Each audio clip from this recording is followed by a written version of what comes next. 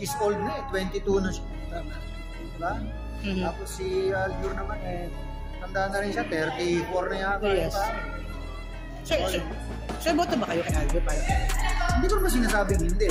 Okay, so, right. siyempre, bilang ama, ah, hindi mo naman maialis sa akin, siyempre. What's up mga tol? Veteran actor na si Jeric Rabal nagbigay ng mensahe at babala sa aktor na si Aljo Rabrinica patungkol sa relasyon nila ng anak na si AJ Rabal. Sir, may mensahe ba kayong gustong iparating naman kay Aljo para kay AJ? Bilang ama, syempre, bilang lalaki sa lalaki. Alam naman na niya yung nagkausap na. Tol, alam mo na yun, nagkausap na tayo ba? Hmm, huwag sasaktan ano. At veteran actor Jeric Rabal nagpasalamat naman ng gusto kay Kylie Padilla dahil nga sa tiwala nitong ibinigay kay AJ Rabal. Pero po sa side, pero si Kylie po is very open in saying na boto po siya o gusto niya rin si ah, Ah, si um, nabanggit niya sa interview salamat niya. naman kung gano'n. Mhm. Ah, anyway, buhay naman kasi nila yon.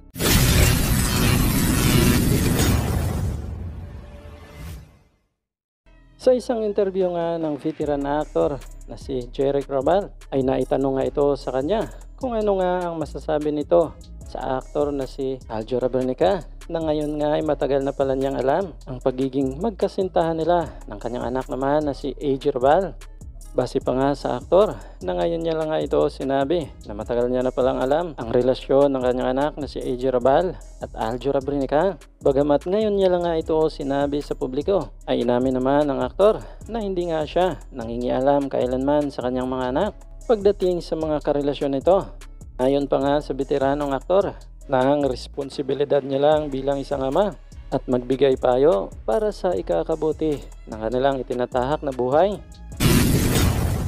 Kasi we interview uh, uh, Aljo recently, no? Hindi ba ano? And she, they finally, they admitted the relationship right now. What is your reaction that on that na inamin na po talaga nila yung relasyon nila? Ako naman matagal ko naman nang alam yung relasyon nila. Mm-hmm. Kaya lang siyempre ayoko lang silang ayoko lang silang pangunahan. Dahil ah, baka mamaya mali yung sabihin. Mm-hmm. Sa akin okay naman. eh. She's old na eh, 22 na siya. Tama. Di ba?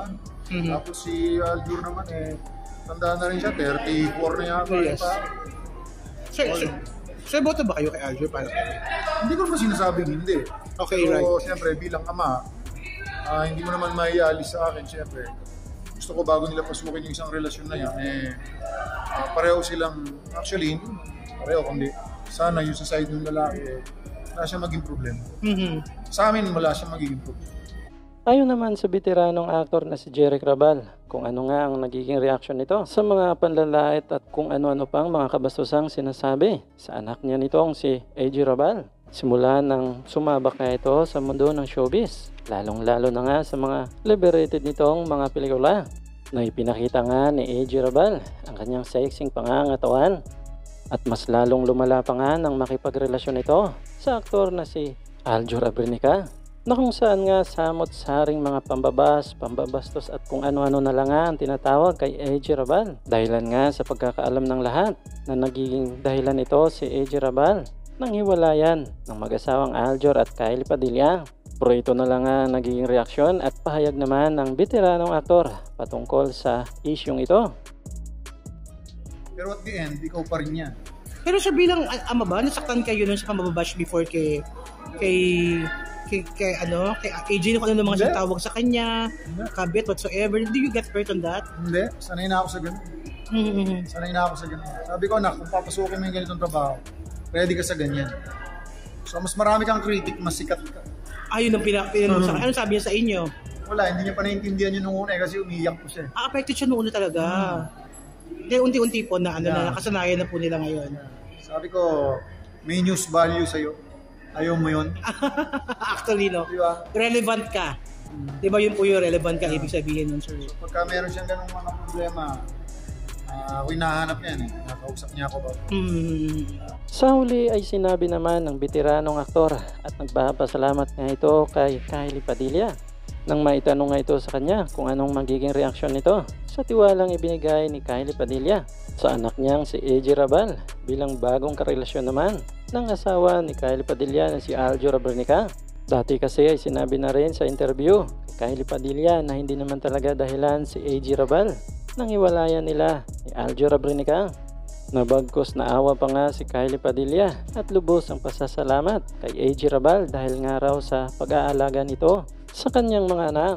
Na kung saan pa nga ay nananawagan nga si Kylie Padilla sa mga netizen at nagmamakaawa na tigilan na nga ang pambabas kay AG Rabal dahil nga raw wala naman itong kinalaman sa kanilang hiwalayan ng asawang si Aljo Rabrinica.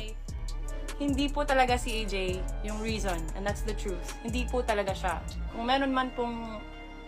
Kung meron man, hindi po siya. So please, naawa na rin ako po ako sa kanya. As someone with, you know, struggles with mental health, ang hirap po nang gigising ka sa umaga, tapos puro hate yung makikita mo. Please guys, woman to woman na hindi ako okay, it makes me emotional too. Tigilan na po natin. Please. Kasi it's not fair to her. Naiyak ako. oh my God. Di ba, guys? Hindi siya hindi kabait. po talaga. Tama na. Tama na. Hindi siya kabait. Hindi po talaga siya. I mean, si AJ Raval, she's not lying. We're really okay. Pero tigilan niyo po, please. Tama na, guys. Kasi hindi talaga siya. Hindi siya. And hindi ko ever sasabihin kung sino. Mhm. Sa amin, wala siyang magiging problema. Pero po doon sa side, pero si Kylie po is very open in saying na boto po siya o gusto niya rin si uh, Ah, si uh, um, nabanggit niya sa interview salamat niya. naman kung gano'n. Ah, anyway, buhay naman kasi nila yon. Mhm. Hindi natin sila pwedeng uh, panghimasukan, lalo na dun sa buhay pag-ibig. Mhm. When it comes to love life, kasi pinakikialaman yung mga... Pero- Hanggang ano lang ako eh. Ayo, Hanggang payo lang ako, wag yan anak, wag yan, kasi ganito ganito yan. Pero at the end, ikaw pa rin yan. Sir, ano naman yung ano mo ngayon, sir? Ah, happy ka ba ngayon na maganda rin ang career ni AJ and kaya pa ng love life niya, tahimik na rin ngayon? Well, siyempre, ah, I'm, I'm happy for her kasi kasi siya, yung anak ko naman, kahit hindi siya. Kasi yung mga anak ko, Hmm. saan sila masaya. Masaya na rin ako. Ako naman, nandito lang naman ako. eh.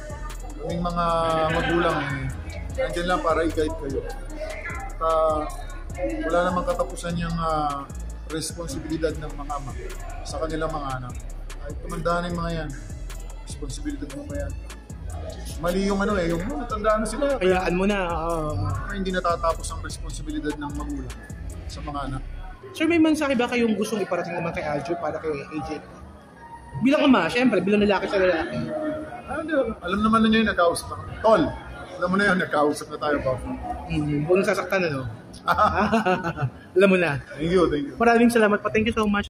So hanggang dito lang tayo mga tol.